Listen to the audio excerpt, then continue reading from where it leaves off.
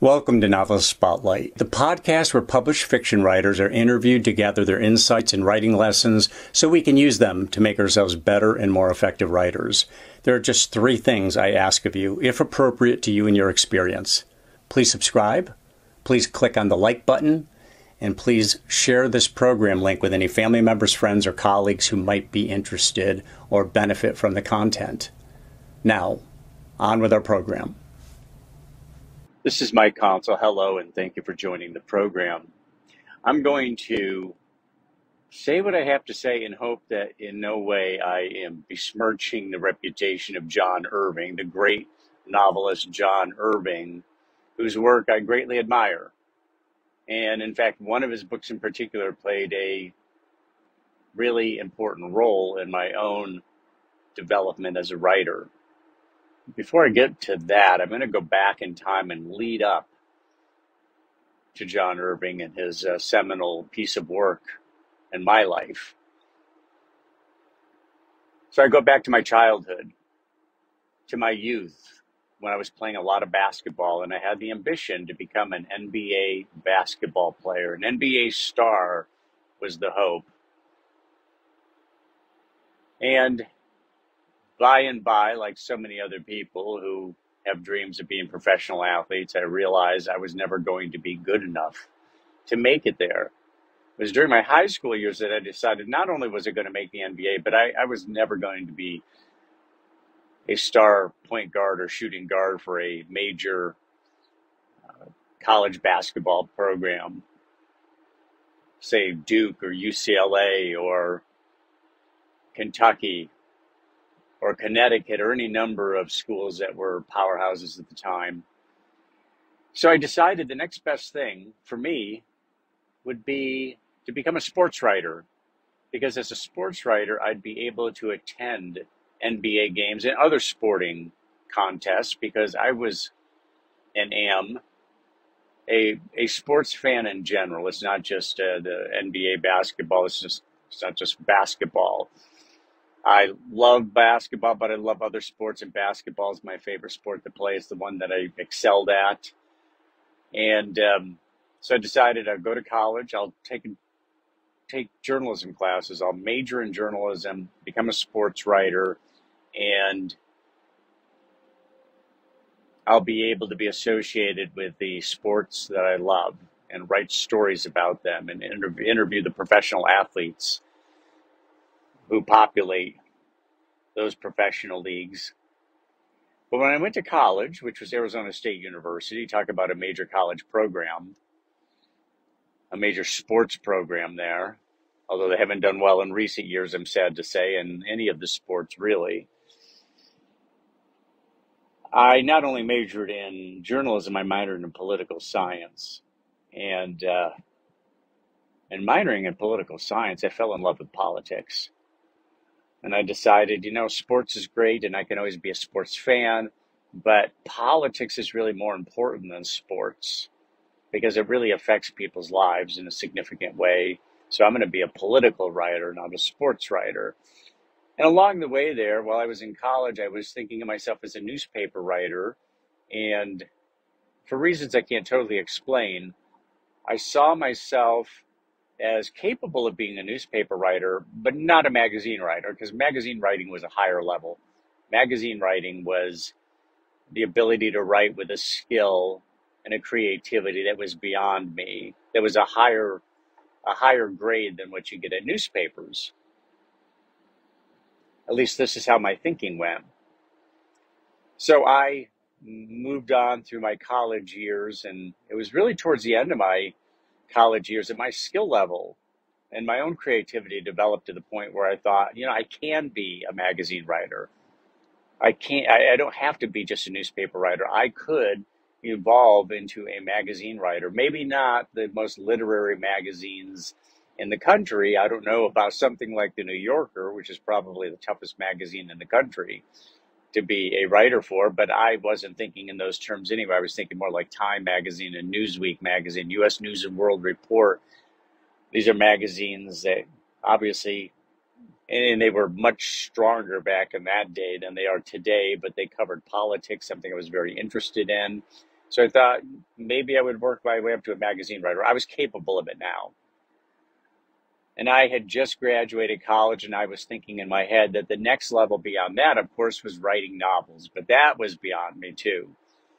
That was a, a you know, magnitudes beyond being a magazine writer. A novelist was just taking the writing to a skill level and a level of creativity and storytelling that was beyond what a magazine writer would be capable of.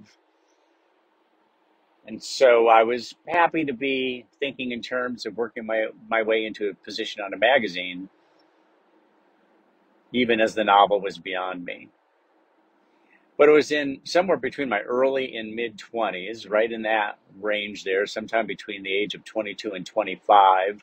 And I was reading novels and nonfiction books. And then I ran across one in particular that was written by John Irving. I don't even know how it landed in my hands, whether it was recommended to me, whether I bought it on a whim, whether it was uh, just a hot book at the time. Of course, it's never stopped being hot. I'm, of course, talking about The World According to Garp. And I started reading The World According to Garp, and I was captivated by it. And I read it aggressively. I sat down every night and I read my way right through that book. And I was no more than halfway through it before, in my own mind, I said to myself, I can write this. I can do this. I can be a novelist. I'm capable of this. Now, I didn't feel that with any of the other novels that I had read, but for whatever reason, and actually I, I've got some insights into that, I think, although I don't know that I understand it 100%. The world according to Garp really spoke to me on that level that I can do this, that that's the kind of writing I'm capable of, where other novels were filled with writing that I didn't really feel, that I felt were beyond, that was beyond me. And this is why I say I don't want to in any way diminish or besmirch the reputation of John Irving, because it almost sounds as though I'm saying, well, his writing in the world according to Garp anyway was so simplistic and so lower level that even a guy like me, an inexperienced fella in my early to mid 20s, could turn out a book like that. But it wasn't really that way at all you know, what was it about the world according to Garp that really lit my fire? I, I, I can't say 100%, but I can tell you this, that there was a, there was a simplicity to the writing, but not simplicity in the sense of uns- unsophistication. It was not sophomoric by any stretch. It was that there were these relationships between Garp and his mother and Garp and his wife and his children and there was great dialogue. I remember that John Irving in that book used lots of parentheticals. He would interject through these parentheticals uh, points that he wanted to make. And he did that repeatedly. He used a lot of italics as well, uh, which was, you know, neither here nor there. It was just the style that he used in that particular book. And it was simply written in a manner that was certainly not unsophisticated and actually exceeded so many of the other novels I had read because it gave me an interest level in the book that was not achieved with most of the novels that I had read previously. And the colorfulness of the characters was something that also stood out and the ability to track the story. There are a lot of novels that are not necessarily all that penetrable, but John Irving, particularly, and I've read this, I've read several of his other novels. Another one of my favorite is The Fourth Hand, which is really, which is really not your typical John Irving novel, but a great novel. Again, The Fourth Hand is the one I'm referring to, uh, with the protagonist Patrick Wallingford but the ability to track the story with the world according to Garp, he limited the number of characters. He made them vivid.